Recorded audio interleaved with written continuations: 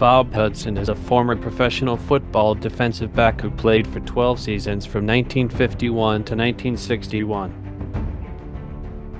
Hudson was born on April 5, 1930 in Lamar, South Carolina. In college, Hudson played for Clemson University in Clemson, South Carolina. Hudson was drafted by the New York Giants in 1951 in the 12th round as the 146th overall pick over 12 seasons.